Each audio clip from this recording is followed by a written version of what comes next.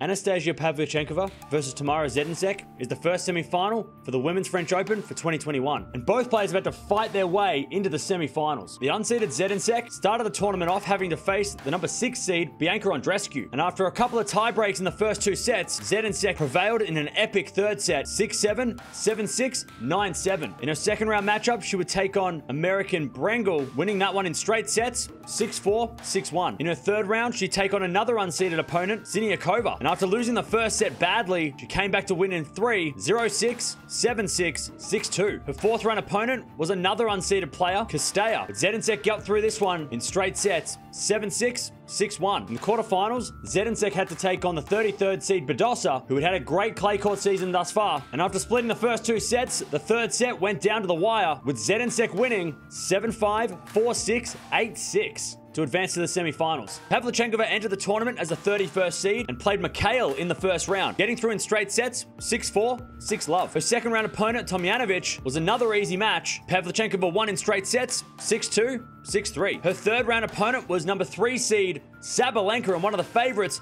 for the tournament. And after dropping the second set, Pavlyuchenkova finished real strong, getting through in 3, 6-4, 2-6, 6-love. In her fourth round, she take on another Belarusian, the number 15 seed Azarenka. And after going down in the first set, Pavlyuchenkova rebounded, came back to win 5-7, 6-3, 6-2. In the quarterfinals, she would take on her doubles partner for all the French Open and the 21 seed Rybakina. And after going down in the first set, Pavlyuchenkova would rebound to win in an epic third 6-7, 6-2, 9-7 to advance to the semi-finals. These two have never met before on tour, so this is going to be a first-time meeting, and what a meeting it's going to be in the semi-finals of a major. But Pavlyuchenkova does have the experience at Grand Slam level, playing in some big matches in the singles and the doubles before. Zidansek's gonna win. She's gonna have to keep her nerve and take her chances like she did against Badosa. Pavlyuchenkova and Badosa are very similar opponents, so if Zidansek can put in the same game plan as she did against Badosa, she has a big chance of making her first final of a Grand Slam. Pavlyuchenkova is gonna win. She needs to be patient. She is the taller player out of the two, so she will be the bigger hitter, so she needs to be patient with her shot making and hit some winners and be aggressive as well. She needs to go on the offense. This is the first time both of these players have played at a semi-final of a major, and I'm gonna go with the experience of Pavlyuchenkova to win this one in three sets and advance to her first final of a major?